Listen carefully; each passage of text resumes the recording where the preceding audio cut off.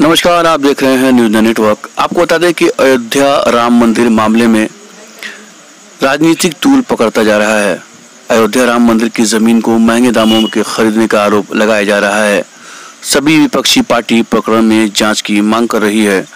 वहीं गाजियाबाद के चौपला स्थित हनुमान मंदिर पर आम आदमी पार्टी के कार्यकर्ता पहुँचे और अपना विरोध व्यक्त करने लगे। आम आदमी पार्टी के कार्यकर्ताओं के पहुँचने के बाद पुलिस मौके पर पहुँची और कार्यकर्ताओं को हिरासत में ले लिया। कार्यकर्ताओं को थाने ले जाया गया और फिर मुचलका भरकर छोड़ दिया गया।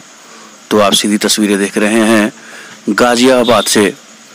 ये गाजियाबाद के चौपला स्थित हनुमान मंदिर का दृश्य है, जहाँ अयोध्या राम मंदिर मामले में काफ़ी हो हल्ला हो रहा है और आरोप है कि अयोध्या राम मंदिर की ज़मीन को महँगे दामों में खरीदा गया है। तो आप देख सकते हैं, सीधी तस्वीरें हम आपको दिखा रहे हैं। अयोध्या राम मंदिर ज़मीन मामले में तूल पकड़ता जा रहा है। आम आदमी पार्टी के कई कार्यकर्ता हैं जो विरोध प्रदर्शन कर रहे हैं। तो आप देख सकते हैं, सीधी तस्वीरें इनको फ़िलहाल यूपी पुलिस के द्वारा गिरफ़्तार किया गया था। थाने ले जाकर मुचलका पर उन्हें छोड़ भी दिया गया है।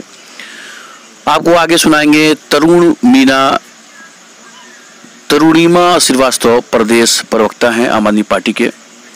हमारी टीम उनसे बातचीत करेगी। आइए देखते हैं किस तरह हुआ विरोध और क्या कुछ हुआ इस दौरान। अभी तक आपने अगर हमारे चैनल को सब्सक्राइब नहीं किया है तो ज़रूर सब्सक्राइब कर लें ताकि हर अपडेट आपको सबसे पहले दिया जा सके। धन्यवाद।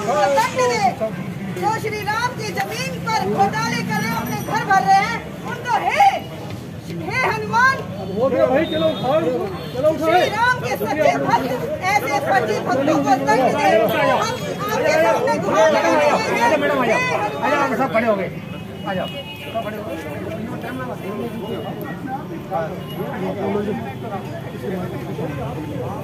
आप तरुणिमा जी अरेस्टिंग देंगे इसका मतलब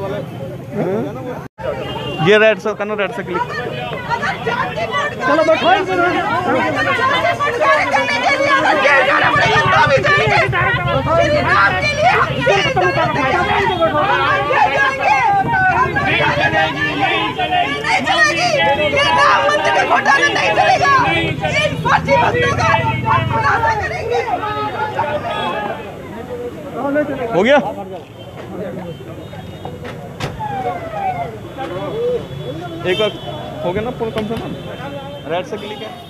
हम लोग शांति से करते हैं सबको शांति से करे परमिशन लिया बनाना भी है हम भी लेकिन आप लोग गलत एक सौ चौवालीस को उल्लंघन कर रहे परमिशन दिए नहीं कोई दिक्कत नहीं लेकिन हाथ पकड़ के एक सौ चौवालीस को उल्लंघन कर रहे जब शांति से काम पूजा कर रहे हैं हम परमिशन से जैसे कोई अपना लोकतंत्र में अब ये हो गया कि मंदिर में आने के लिए परमिशन लेनी पड़ेगी सर। क्या कर रहे हैं सर? आप आप अपनी हम हैं। आप चुप खड़े हो जाओ दो मिनट क्या चुप खड़े हो जाए जा मेरा एक काम है एक सौ चौवालीस आपका शांति भंग करना काम है बोले चलो भाई नहीं मानेंगे अपने से हम चलो जा रहे हैं हम तो पूजा करने आए हैं के कानून हैं हम कहा अगर मंदिर में तो हटिया में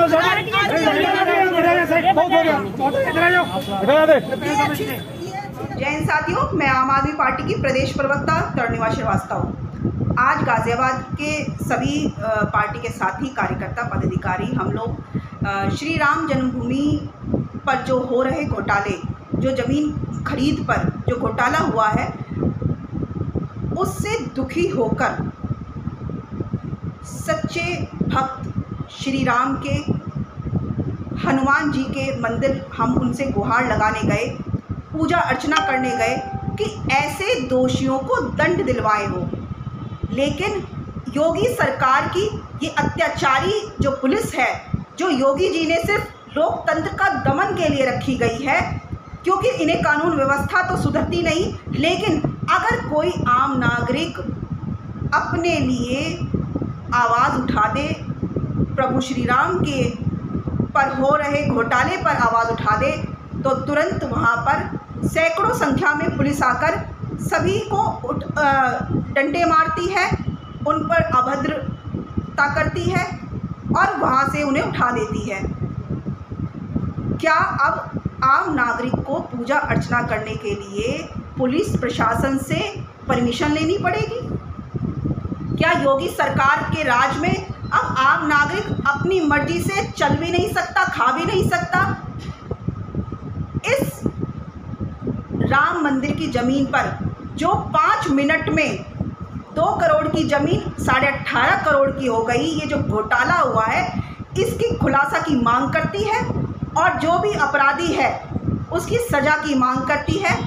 आम आदमी पार्टी जब तक उन अपराधियों को दंड नहीं दिलवा देगी, तब तक ऐसे ही श्री राम के लिए और हनुमान जी के मंदिर जाकर गुहार लगाएगी और आवाज़ उठाती रहेगी। धन्यवाद।